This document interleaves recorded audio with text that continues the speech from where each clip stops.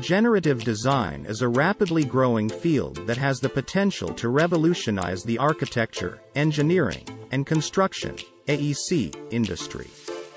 Generative design uses artificial intelligence AI, and machine learning ML, to create designs that are optimized for specific criteria, such as performance, cost, and sustainability.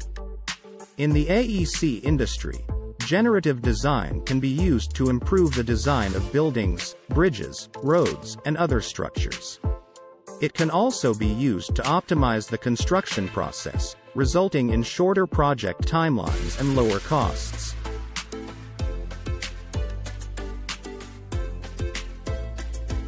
Here are 15 techniques that are currently being used in generative design in the AEC industry.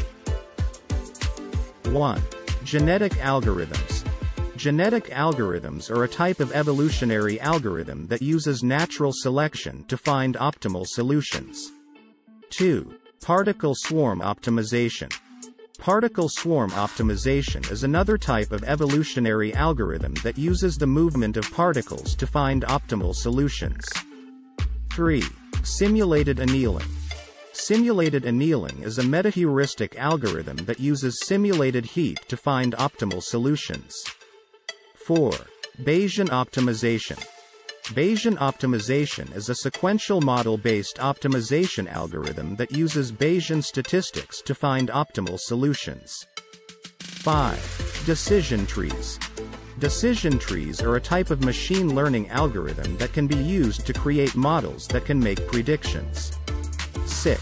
6. Random forests. Random forests are a type of ensemble learning algorithm that uses multiple decision trees to make predictions. 7. Neural networks. Neural networks are a type of machine learning algorithm that can be used to create models that can learn from data.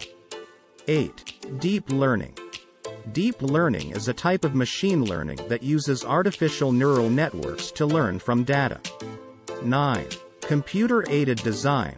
CAD, CAD software is used to create 3D models of buildings, bridges, roads, and other structures. 10. Building Information Modeling. BIM, BIM is a process that uses 3D models to capture and manage information about a building or structure. 11.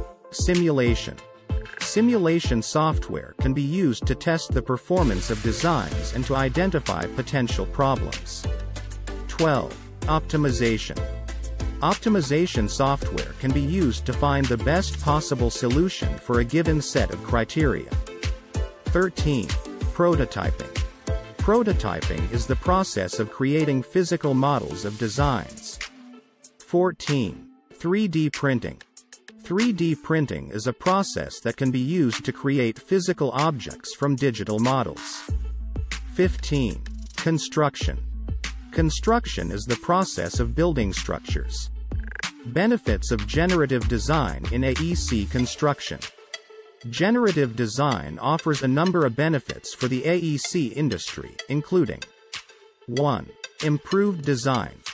Generative design can be used to create designs that are optimized for specific criteria, such as performance, cost, and sustainability. 2.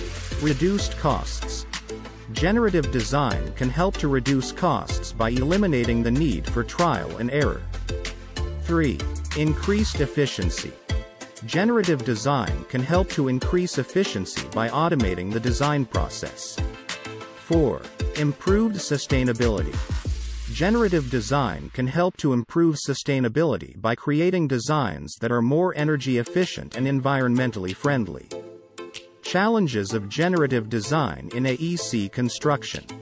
Despite the benefits of generative design, there are a number of challenges that need to be addressed before it can be widely adopted in the AEC industry.